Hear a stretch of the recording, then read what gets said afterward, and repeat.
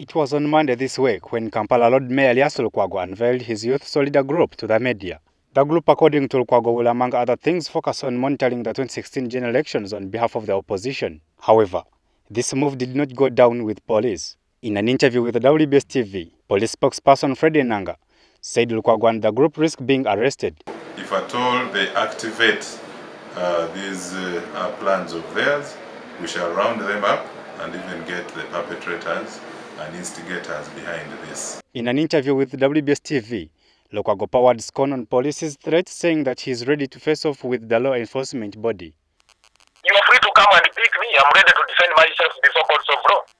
Lukwago also warned police to come prepared because he's not the kind of person they used to arrest. But I'm just warning you, you come prepared because it's not the kind of person you have been arresting before. Lukwago bases his arguments on crime preventers who have over the time been trained by police at the police training school in Kabalye Masindi.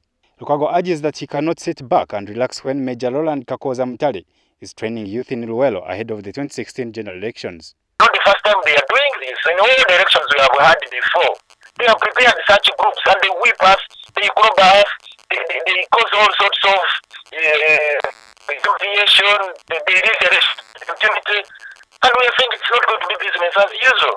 Pressure continues to mount on a daily basis ahead of 2016 general elections, and on how far different politicians will go on in turning out victors, no one knows. As we only wait for the time to judge, Davis Ahewe,